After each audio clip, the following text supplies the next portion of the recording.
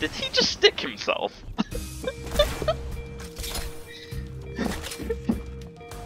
oh Christ.